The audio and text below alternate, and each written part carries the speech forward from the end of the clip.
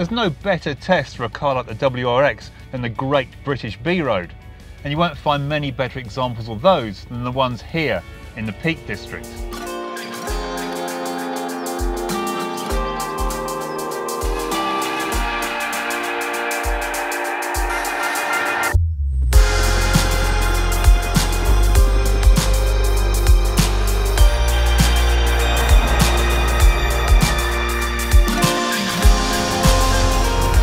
The road rises and falls and twists and turns, completely at the mercy of this wonderful landscape, it's enough to put any car and its driver right through its paces. And the good news is the WRX feels completely at home on these roads.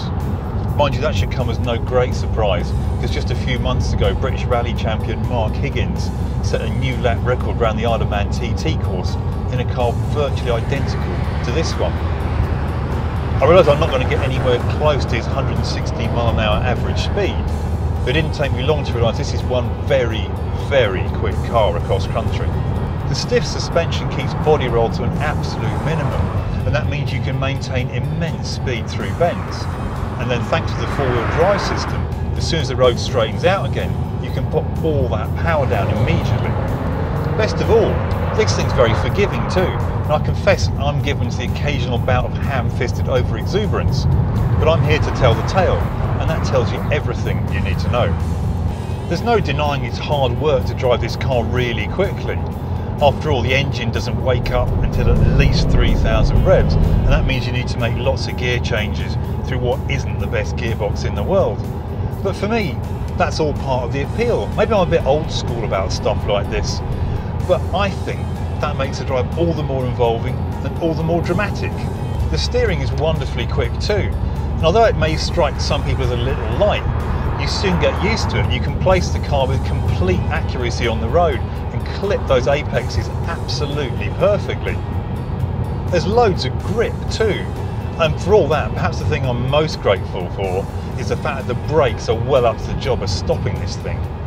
Best of all, I get to seriously indulge all my rally driving fantasies thanks to the adjustments I can make to the way the car behaves from the comfort of this rather lovely driver's seat. In my heart of hearts, I know it's really just a bit of a gimmick, but with this control I can adjust the differential. That means I can give the car better traction or more stability in slippery conditions, or even sharpen the handling even further when conditions allow that. Then with this control, I can adjust the sensitivity of the throttle, making the engine respond even more quickly when I press that pedal to the metal. I'm not going to lie and tell you the car is faultless, it certainly isn't that, but up here in the peaks, it's really in its element. I know we soon need to head back to the real world, but just for the moment, I'm going to pretend that its traffic jams and its potholes don't exist, wipe any worries from my mind about the fuel economy this thing's doing, and just enjoy what the WRX does best. I'm going to go for another blast across these glorious roads.